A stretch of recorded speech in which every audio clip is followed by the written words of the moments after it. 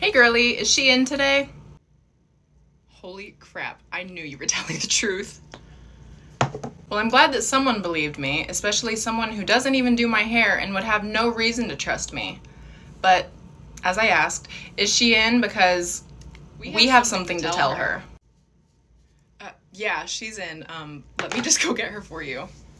Hey, uh, can you come up to the front real quick? Yeah, for what? Um, there are some people that have to tell you something. What is this?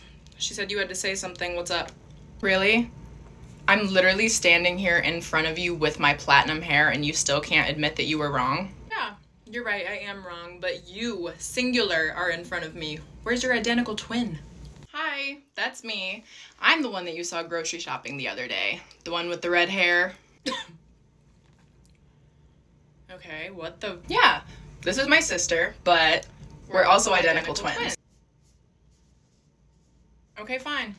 I can admit when I'm wrong, and I was wrong. I'm sorry, but as a hairstylist, I just didn't want to compromise your hair had you. You know what? Save it. I got this. It's okay.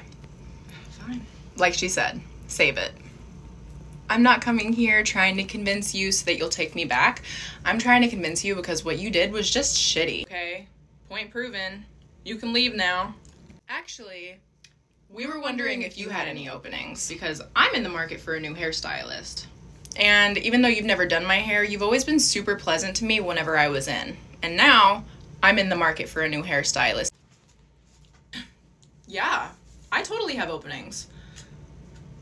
Great, can you book us together? Yeah, I can absolutely make that work.